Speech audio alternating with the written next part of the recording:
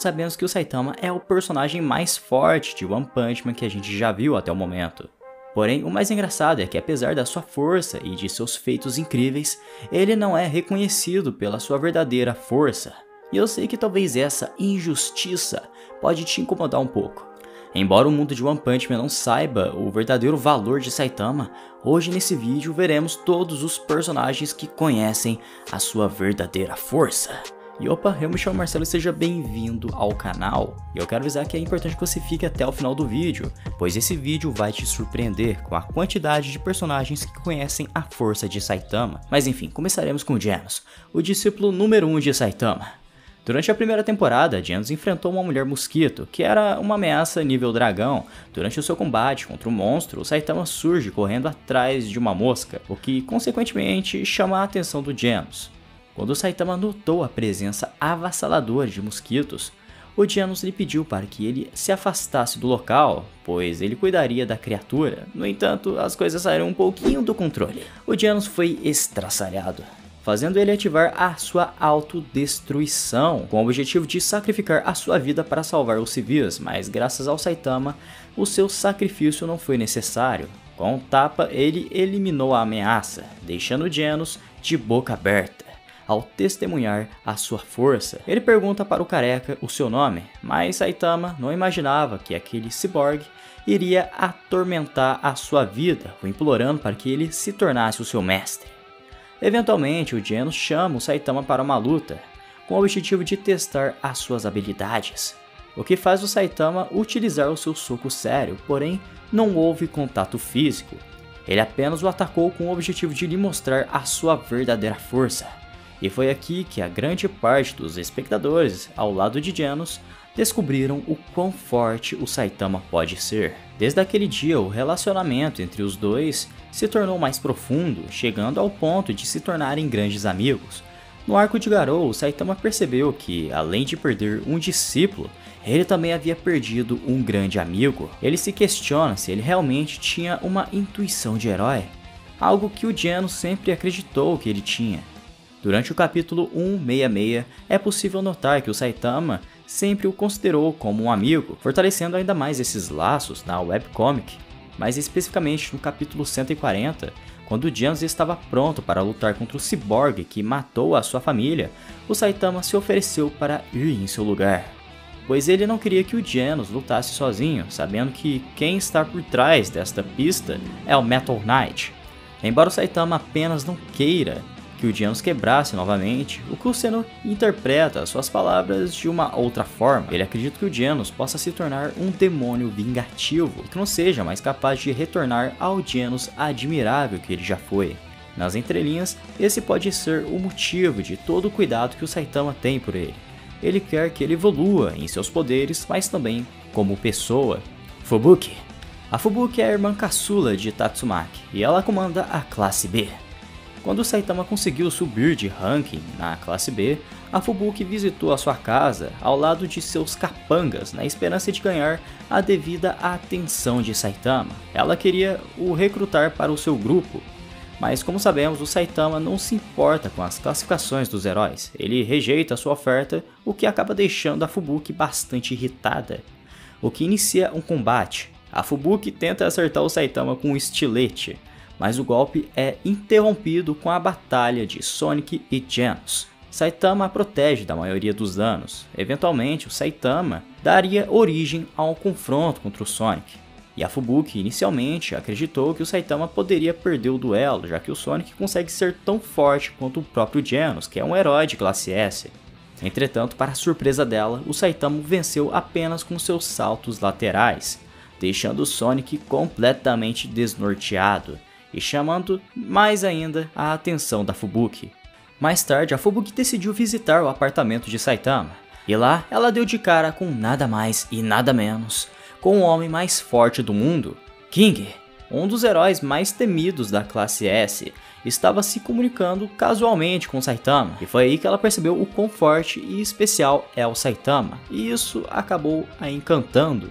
Ela queria fazer parte disso, fazendo parte de um time mais qualificado, ao invés de ficar se rastejando na classe B, construindo uma facção. Até hoje ela ainda tenta persuadir o Saitama para que ele entre no seu time Fubuki. Com a adição da força de Saitama, isso significaria um mundo para ela. Uma esperança para se sobressair da sombra de Tatsumaki. E falando em Tatsumaki, agora partiremos para a webcomic. Os dois heróis pesos pesados da Associação dos Heróis já saíram no pau sobre os seus ideais. No arco das Irmãs Pacíficas, Tatsumaki teve uma luta contra a sua irmã mais nova, e por estendê-la demais, o Saitama logo interferiu na luta delas duas. Ele agarrou seu braço e não soltou mais. Ela tenta torcer o seu corpo, mas falha miseravelmente.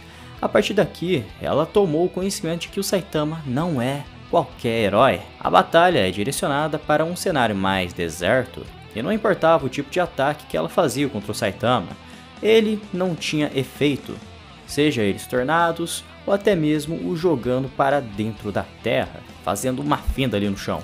No final da luta, a Tatsumaki foi obrigada a se retirar da batalha, pois os seus ferimentos que ela ganhou durante o confronto contra a Associação dos Monstros se abriram, fazendo ela sangrar severamente, mas durante a luta ela disse que continuaria a lutar depois que ela se recuperasse. A Tatsumaki, momentos antes de se retirar da batalha, o pergunta o motivo dele esconder a sua real força, e ele responde dizendo que ele não faz isso de propósito a My Mask.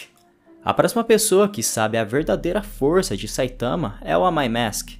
Enquanto ele sempre se mostrava excessivamente arrogante e rude, fica claro que ele costuma levar o seu trabalho a sério e graças aos seus esforços ele conseguiu atingir o topo da classe A, impedindo diretamente que outras pessoas chegassem na classe C, como por exemplo o Yayan e os discípulos do Atomic Samurai. Amai Mask se interessou pelo Saitama bem cedo na história depois do arco do Rei do Mar, podemos ver uma cena que mostra o Amai Mask vendo uma filmagem do Saitama vencendo o monstro, o que aparentemente o deixou impressionado. Mais tarde, ele testemunhou a luta do Saitama contra o Garou, claro, isso na webcomic, e desde então ele ficou obcecado pelo herói.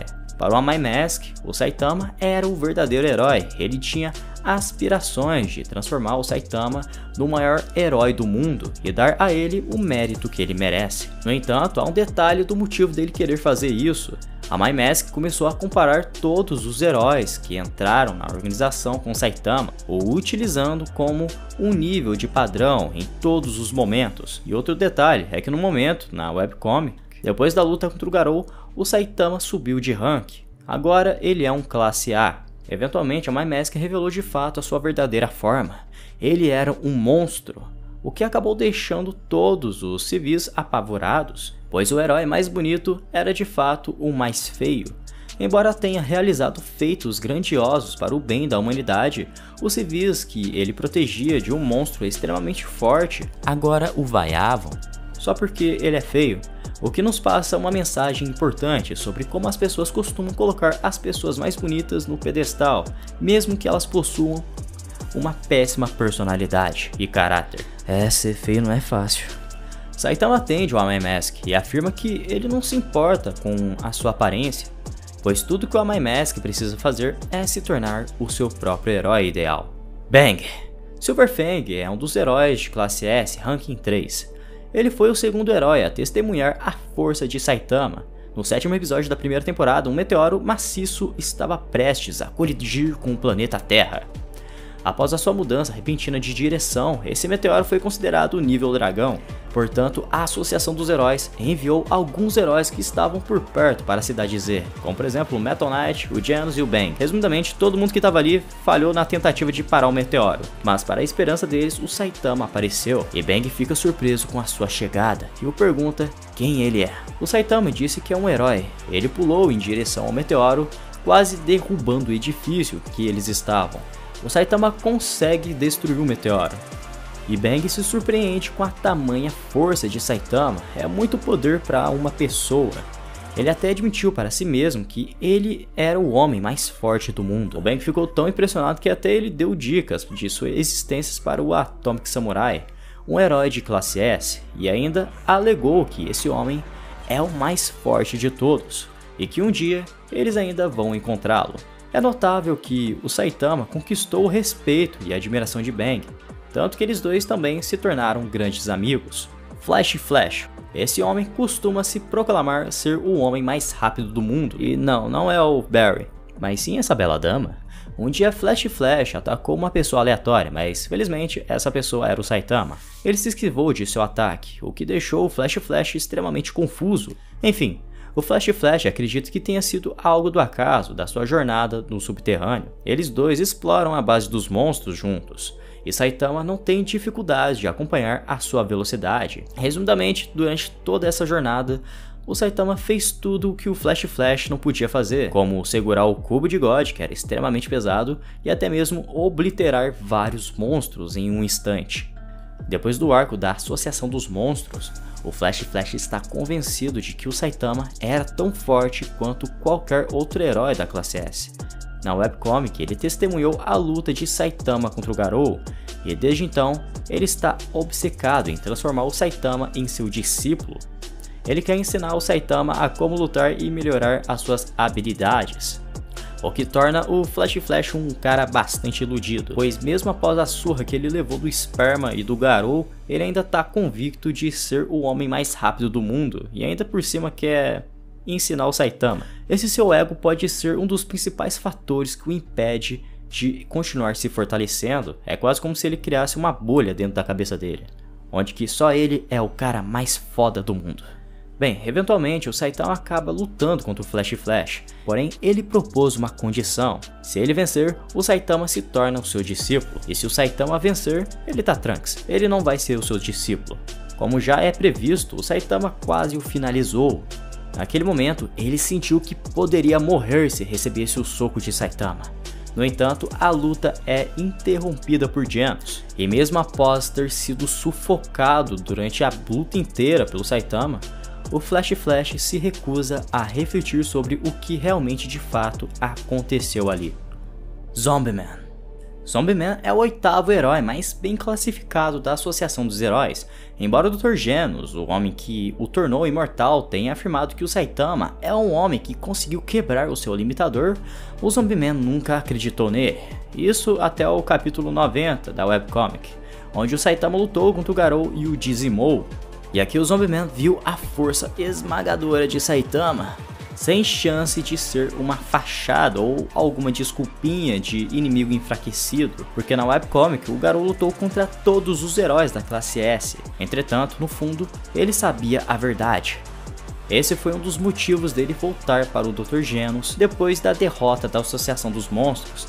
Ele até mesmo pediu para o Genos o ajudar a quebrar o seu limitador ele quer ser mais forte, tão forte quanto o Saitama. O próximo é o Metal Knight. Ele é um herói que possui uma grande contribuição para a Associação dos Heróis, considerando que quase toda a tecnologia que eles usam é feita por ele, especialmente a sua Cid. Ele foi o responsável por guiar e ensinar o menino prodígio, o Kid Imperro, sobre tudo de tecnologia. Ele também alertou Kid Imperro sobre a ameaça de Deus. E caso queira saber o que aconteceu na terceira temporada de One Punch Man, eu quero que saiba que eu já fiz um resumo completo dela, e vai estar tá aí nos cards caso você queira assistir depois desse vídeo. Assim como Bang, o Metal Knight conheceu o Saitama durante a ameaça do meteoro na cidade Z. Após o dano causado pela associação dos monstros, com bilhões de dólares foram criados robôs mais fortes que detectam automaticamente a presença de monstros, para que assim a segurança esteja mais fortificada, enquanto Saitama, Sperma Negro e Hover o seu bichinho de estimação visitavam a Associação dos Heróis, esses robôs acabaram atacando Saitama depois de considerá-lo uma ameaça. E a gente já sabe o que, que aconteceu. Após destruir todos os robôs, temendo que ele tivesse que pagar por esses danos causados, o Saitama mentiu, falando que eles simplesmente explodiram sozinhos. E ainda por cima, o King apareceu lá para dar uma cobertura para ele. Mais tarde, Bofoy, o homem por trás do Metal Knight, assistiu os registros da câmera de segurança. Ele viu Saitama destruindo seus robôs. E com base nos registros, ele tomou a ciência de que o Saitama pode estar acima da classe S, com base em seu poder. E como prevenção de que o Saitama não vá se tornar o seu inimigo, ele vai observá-lo. Boros Boros é o chefão da primeira temporada, ele foi a primeira pessoa a sentir a força de um soco sério do Saitama. Primeiramente, depois de Saitama invadir a sua nave e destruir a sua armadura que selava todo o seu poder, ele se segurou durante a maior parte da sua luta. Somente depois de ser jogado para a lua, com uma joelhada, o Saitama começou a se tornar mais presente na ofensiva. Ele disparou diversos socos normais contra o Boros, mas graças à sua regeneração, ele conseguiu se manter vivo. A força de Saitama obrigou o Boros a utilizar o seu ataque mais poderoso. Ele era tão forte que sozinho ele conseguiria destruir a superfície de todo o planeta. No entanto, Saitama também tinha uma carta na manga. Ele desviou seu soco sério contra o Boros, o que consequentemente acabou o matando. E Boros finalmente conseguiu ter a batalha que ele tanto sonhou. O Saitama foi de fato o ser mais poderoso que ele já enfrentou. King a pessoa que carrega o título de homem mais forte do mundo também conhece as verdadeiras capacidades do Saitama. Enquanto King vivia sua vida fingindo lutar contra monstros e jogando seus jogos de relacionamento, de repente um Saitama entrou pela sua janela e o espiou enquanto jogava. O Saitama no momento queria fazer uma pergunta. Ele queria saber qual o motivo dele ter fugido do combate contra a máquina de combate G4. Mas antes que King pudesse responder claramente a sua pergunta, uma ave gigante atingiu o apartamento de King, o que deixou o King todo cagado de medo e finalmente ele foi honesto com Saitama. Em um grito de desespero, ele revela que o seu heroísmo é uma farsa. E quando Saitama finalmente derrotou o pássaro, o King percebeu que aquele careca era o homem que havia salvado a sua vida quando mais jovem. Depois desse encontro, eles se tornaram amigos, e desde então eles ajudam um ao outro, seja contra monstros aterrorizantes ou até mesmo em lições de vida. O Sonic é um shinobi da Vila Ninja. Ele é um dos primeiros personagens a reconhecer a força de Saitama e foi de uma forma bastante dolorosa. Durante a sua luta contra o careca de capa, o Sonic foi destruído pelo Saitama. E essa derrota lhe deu motivação para que ele começasse a treinar novamente e o declarasse como seu eterno rival. Então, como previsto, desde aquele dia eles se enfrentaram várias vezes e o resultado sempre foi o mesmo. Ele sempre era humilhado pelo careca. Na tentativa de tentar se fortalecer, ele até mesmo comeu células monstro. No entanto, isso apenas o deixou com uma bela caganeira como visto no capítulo 118 da webcomic, o Saitama havia derrotado o líder da Vila Ninja sem nenhuma dificuldade. E isso apenas serviu como uma motivação para que o Sonic se torne mais forte. Antes de lutar contra o Flash Flash, ele deseja profundamente derrotar o Saitama. Embora Saitama inicialmente também tenha motivado o Sonic a se tornar mais forte, em alguns momentos ele passava dos limites, o que deixava o Saitama puto da vida pois ele o desafiava frequentemente e às vezes ele não tinha tempo para suas brincadeiras, entre aspas. Esperma Negro e Rover. Aqui estão os animais de estimação do nosso careca de capa. Bem, provavelmente eles terão a sua primeira aparição no mangá a partir do capítulo 171. O Esperma Negro da webcomic testemunhou a força de Saitama logo após ele ter derrotado a Água Maligna. Quando os espermas se fundiram e deram à luz ao esperma dourado, esse novo guerreiro lutou contra o Garou, e ele foi morto, mas por sorte, uma das células negras conseguiu sobreviver e se escondeu esperando as coisas se acalmarem. Quanto ao Rover, durante o mangá ele foi visto em um confronto contra o Saitama, mas no fim ele conseguiu sobreviver ao soco do Saitama. Portanto, aquele cachorrão agora se tornou um cachorrinho fofinho. E Saitama, despreocupado com a vida, decidiu adotá-lo. E o Esperma Negro, ao ver que o Saitama tolerou a presença de Hover, que é um monstro, logo então ele decidiu ir na onda e tentar ficar o mais próximo do herói, pois ele acredita que isso o manteria seguro da ameaça dos outros heróis. O cara da bike. Até aqui já conseguimos ver muitos personagens extremamente poderosos, e outros nem tanto. Porém, ainda existem mais algumas pessoas que não foram abençoadas com um poder esmagador, esse é o Cavaleiro Sem Licença. Durante a saga do Rei do Mar Profundo, o Cavaleiro Sem Licença teve uma dura batalha contra um monstro do mar. Apesar de saber que a sua derrota era inevitável, ele ainda se arriscou contra a criatura. Ele apenas não foi morto graças à interferência de Saitama, que com o soco colocou um fim na história do monstro. Embora outras pessoas tenham testemunhado a força de Saitama, elas o vaiaram, pois acreditaram na possibilidade do Saitama ter apenas aproveitado a oportunidade de finalizar o monstro, depois que outros heróis já tinham o desgastado. Apenas o cavaleiro sem licença conseguiu notar a real força de Saitama, e mais tarde ele o parabenizou por ter salvado a sua vida. Blast Blast é o herói número 1 um da Associação dos Heróis, e ele só dá a cara quando realmente o planeta está enfrentando uma ameaça nível Deus. Além da sua apresentação para o Saitama e o Flash Flash, o Blast teve uma forte participação na luta contra o Garou Cósmico, que no momento havia pegado parcialmente os poderes de God. O Blast tenta convencer o Garou a deixar o planeta, pois os outros heróis estavam sofrendo com a radiação que o corpo do Garou emanava. Entretanto, por causa da resistência de Garou, uma batalha se iniciou e Blast mal imaginou que alguém mais poderoso que o Garou iria surgir. Após Garou matar Genos, Saitama ficou extremamente furioso e o atacou com tudo, quase destruindo o planeta inteiro. Essa escala de poder de Saitama e Garou foi demais para o Blast. Ele nunca pensou que existiria mortais tão poderosos assim.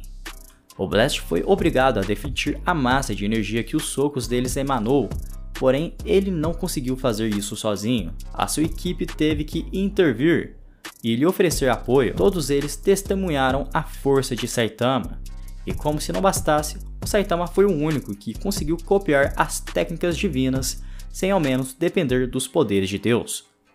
Garou. O mal absoluto também não poderia ficar de fora desse vídeo. Durante as primeiras temporadas de One Punch Man, o Garou foi diversas vezes nocauteado pelo Saitama, mas ele sempre se esquecia do ocorrido, e isso até o arco da Associação dos Monstros. Somente após a sua monstrificação e de mais uma revanche contra o Careca que ele conseguiu se lembrar das humilhações que o Careca fez ele passar. O garoto, de qualquer forma, agora queria deitar o Saitama no soco. Enquanto travava sua batalha, o garoto ficava cada vez mais forte, no entanto, não forte o suficiente para bater de frente contra o Saitama.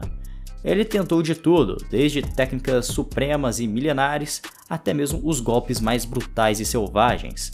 Mas no fim, ele não conseguiu obter nenhuma vantagem contra o careca. Até que então Deus foi até ele. Ele ofereceu parte de seu poder, e Garou acidentalmente aceitou o acordo, obtendo então poderes divinos. Apesar de estar exageradamente poderoso, ele ainda não foi páreo para o Saitama.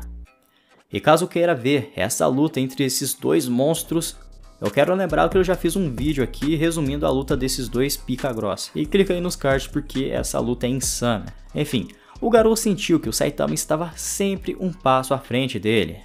Durante toda a luta, a cada momento, ele mais se fortalecia. Até que chegou um momento em que o Saitama estava tão forte que com apenas um único espirro, ele basicamente destruiu o planeta Júpiter. Isso foi o suficiente para mostrar ao Garou o quão forte ele é. Eventualmente, o Garou reconhece a sua derrota. Ele nunca poderia vencer o Saitama. Sabendo de seu poder, o Garou percebeu que o Saitama era a única pessoa que poderia replicar o poder divino de Deus sem ao menos ser abençoado pelo mesmo. Então ele ensina o Saitama a voltar no tempo e impedir o seu eu do passado de fazer todas as cagadas que ele fez. Embora o Saitama tenha impedido o surgimento daquele futuro devastador, o Garou ainda não havia se esquecido de sua força, tanto que ele até mesmo comenta com Bang que gostaria de lutar contra o Saitama novamente. Deus. Embora Deus nunca tenha conversado diretamente com Saitama, podemos presumir que Deus está ciente da força de Saitama e provavelmente ele está sendo configurado para ser o último antagonista da série. Provavelmente uma das principais razões de Deus tentar abençoar o Garou foi para se livrar de Saitama. Segundo o mangá, a única maneira de derrotar um punho que se voltou contra Deus é com o punho de Deus. Com certeza, Deus reconhece a força de Saitama. Ele sabe que ele é forte o suficiente para não estar sob a sua influência Embora aparentemente ainda esteja selado, Saitama é o único ser em todo o universo que é capaz de vencê-lo. Deus está vigiando Saitama desde seu combate contra o Garou, e com certeza ele apenas está esperando o momento perfeito para se libertar da sua prisão, independente de qual seja ela. E se você não quer ser espionado por Deus, você precisa convocar o Saitama. E tudo que você precisa fazer é meter uma dedada no like e no botão vermelho e também ativar o sininho para receber todas as notificações de vídeos que saem aqui no canal. Muito obrigado por ter ficado até aqui e até o próximo vídeo.